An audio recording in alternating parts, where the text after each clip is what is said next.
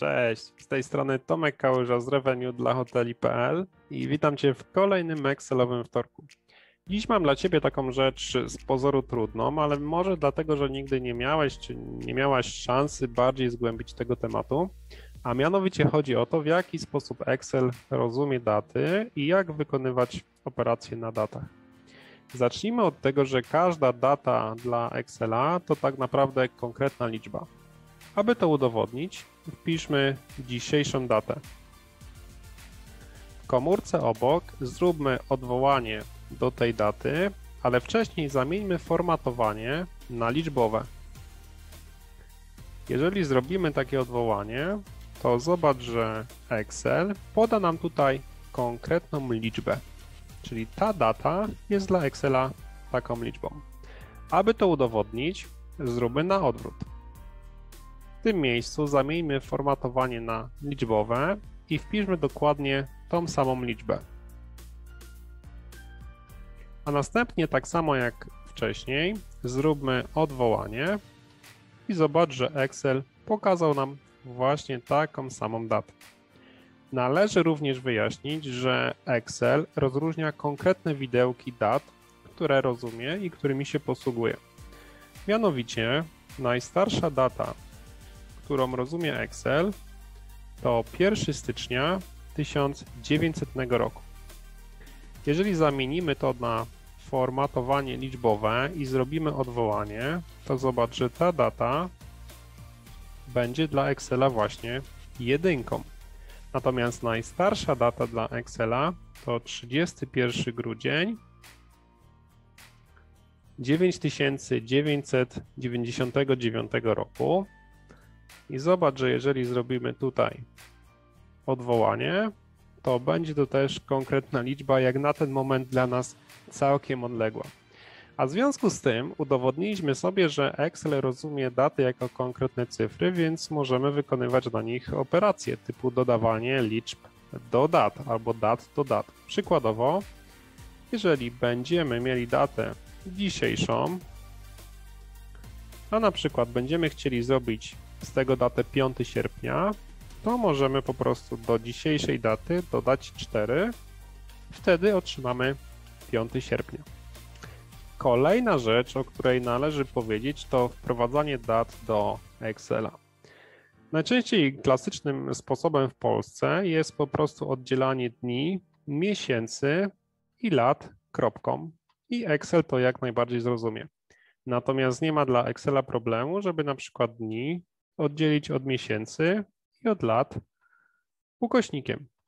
Excel również przekonwertuje to na klasyczną datę, format, w jakim posługujemy się w Polsce.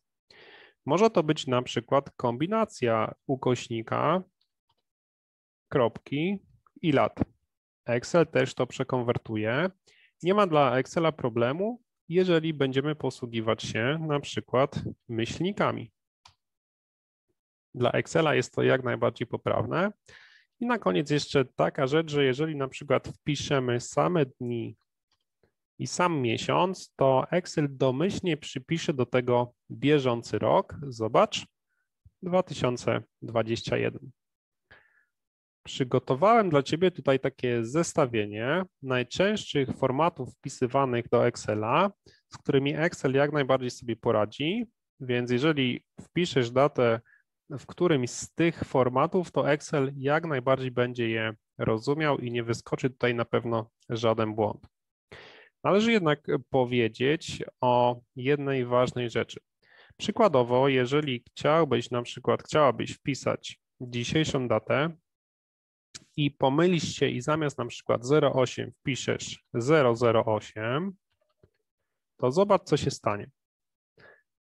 No, rzuca się tutaj w oczy pierwsza rzecz taka, że wszystkie daty, które zostały wpisane poprawnie, przyciągnięte są do prawej strony komórki. Natomiast tą wpisaliśmy intencjonalnie błędnie i została ona przyciągnięta do lewej strony komórki. I to jest właśnie e, sytuacja, w której Excel pokazuje nam, że data została wpisana błędnie. Dlatego, że Excel zrozumiał ją jako tekst i przyciągnął do lewej strony komórki. Więc jeżeli na przykład będziesz miał, miała sytuację w Excelu, i chciałbyś, chciałbyś odróżnić, czy coś jest datą, to najlepiej zobaczyć, czy jest przyciągnięte do prawej strony komórki, czy do lewej. Jeżeli do lewej, to Excel traktuje to jako tekst, a nie jako datę i najprawdopodobniej nie będzie można wykonywać żadnych operacji właśnie na czymś, co jest tekstem. Na koniec mam dla Ciebie takiego mm, Excelowego lifehacka, a mianowicie taki sposób, aby zabezpieczyć się przed błędnym wpisywaniem dat do Excela. Powiedzmy, że na przykład mamy sierpień i poprosisz recepcję o to, aby każdy z pracowników wpisał jakiś wybrany dzień w sierpniu, w którym na przykład planuje urlop, aby uwzględnić to w grafiku. Aby zabezpieczyć się przed tym, żeby na przykład któryś z pracowników nie wpisał błędnej daty, tak jak na przykład tutaj, możemy e, użyć coś, co nazywa się poprawność danych. Należy w tym celu przejść do zakładki dane, a następnie w zakładce dane mamy taką funkcję jak poprawność danych w zakładce narzędzie danych. Przechodząc do tej zakładki, należy kliknąć i wybrać pierwszą opcję poprawność danych. W tym miejscu w ustawieniach mamy takie coś jak kryteria poprawności.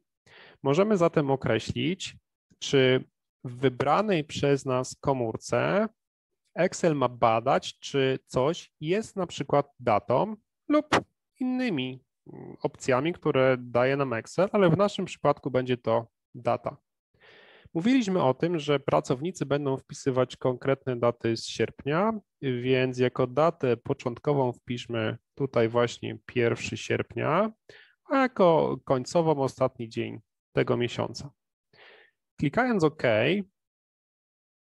zobaczmy, co się stanie. Aha, jeszcze tylko sprawdźmy, czy na pewno ustawiliśmy to w dobrej komórce, w dobrej, bo mamy ją zaznaczoną. Więc jeżeli klikniemy OK, to taka poprawność danych powinna już działać i zobaczmy, co się stanie. Jeżeli na przykład wpiszę 2308 2021, no to nie ma żadnego problemu.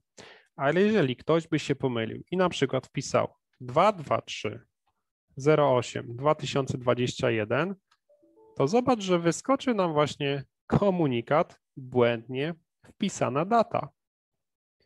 Jeżeli ktoś na przykład chciałby napisać 13 i na przykład zamiast sierpień napisał wrzesień, to pamiętaj, że określaliśmy sobie datę początkową i datę końcową i w takim przypadku Excel również pokaże nam, że jest to błąd.